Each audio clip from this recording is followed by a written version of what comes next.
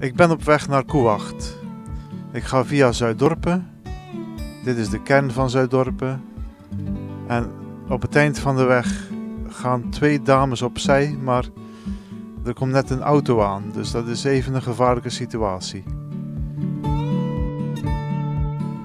Ik ga iemand interviewen in Koewacht, maar ik weet nog niet wie. Dus we zien wel wat er gebeurt.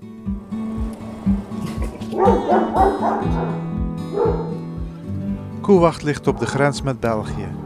Vandaar dat sommige straten afgesloten zijn.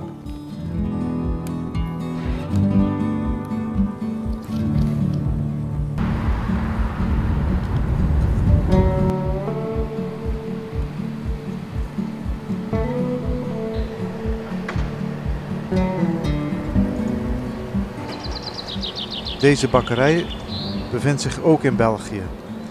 Dus Nederlanders mogen er eigenlijk niet om brood. Maar daar hebben ze iets op gevonden.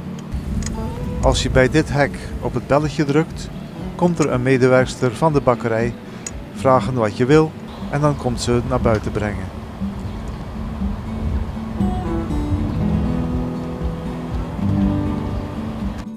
Helaas heeft de jonge dame geen tijd om een interview te doen, dus ik rijd terug door Koewacht en ik zie iemand aan een camper bezig. Meneer, ik zag net eh, dat u aan eh, de camper aan het werken bent. Ja. Eh, hebt u nog vakantieplannen? Ja, ik heb zeker een vakantieplan. Als we het land uit mogen, gaan we wel hopelijk dit, misschien eind van het jaar nog een keer naar Frankrijk of zo. Of België. Maar als we België niet door mogen, komen we ook Frankrijk niet in. Dat is het probleem.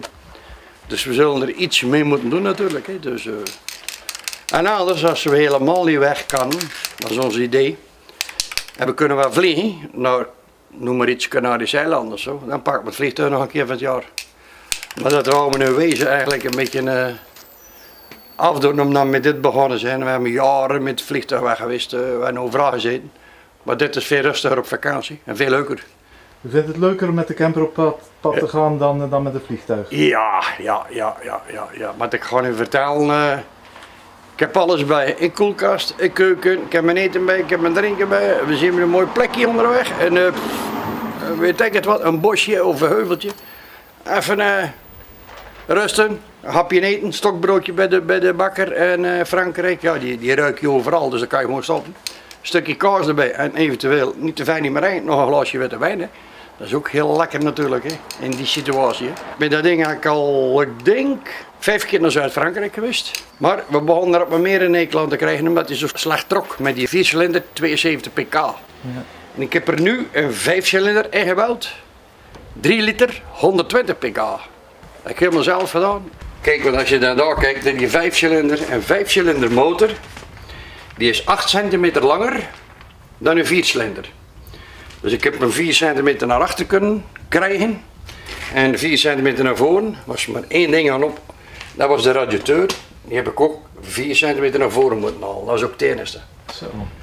En nou, eh, kijk, ja, dan eh, moet je ze een nieuw luchtfiltertje zetten, want dan past die oude niet meer, weet je wel. Eh, ja, ik, eh, dat, is een, eh, dat- is 40, jaar- 42 jaar oud, maar ik heb er ook wel stuurbekrachtiging op aan alles.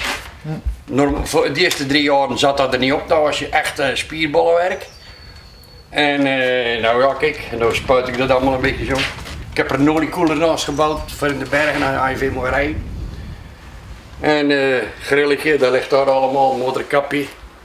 Kijk, dat ligt er gewoon, eh, dat schroef ik eraf omdat dat anders allemaal beschadigd en vuil wordt van de verf. Ja. Dan heb ik hem hier in de primer gezet aan deze kant. Een beetje opknappen. Kijk, dit helemaal. Ah ja. En dat moet allemaal gespoten worden. Dus, eh, en dat ook allemaal met spuitbussen, je had het niet geloven.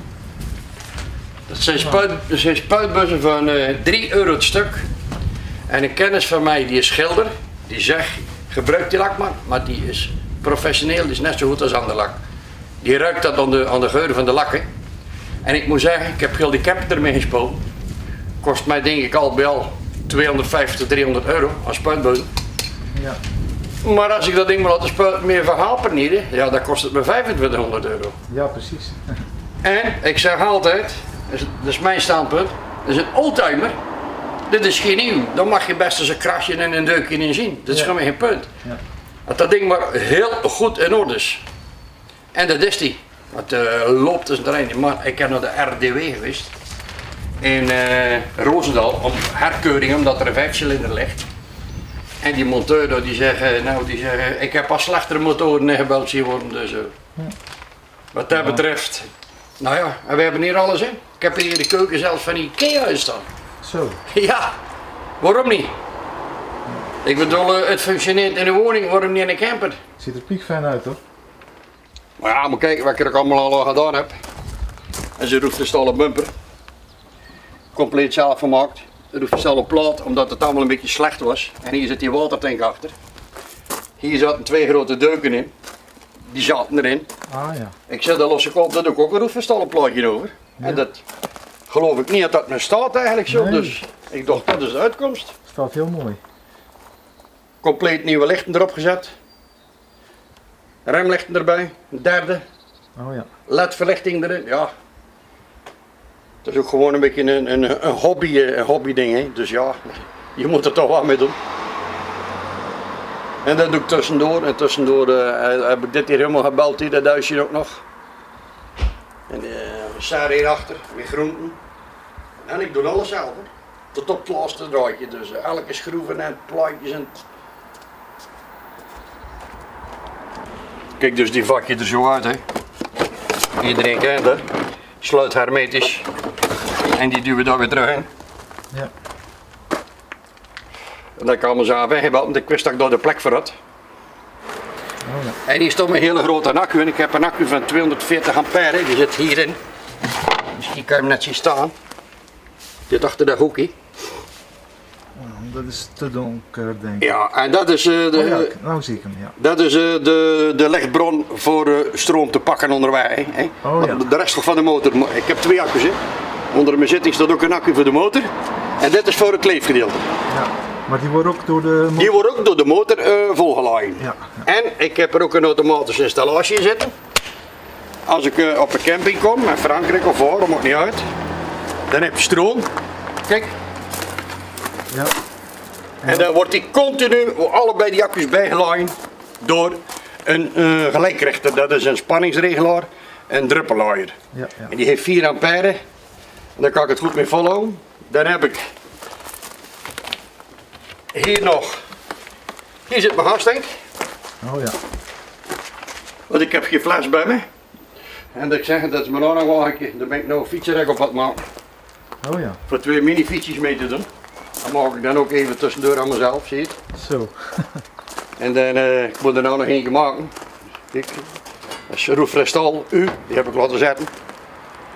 En die snij ik dan met een slijptolletje een keer of tien in. En dan trek ik die zo mooi rond en dan las ik die terug. Dat was precies de vorm van mijn wiel. Ja, ja. Dus ja, mooi kan niet hè. Ja.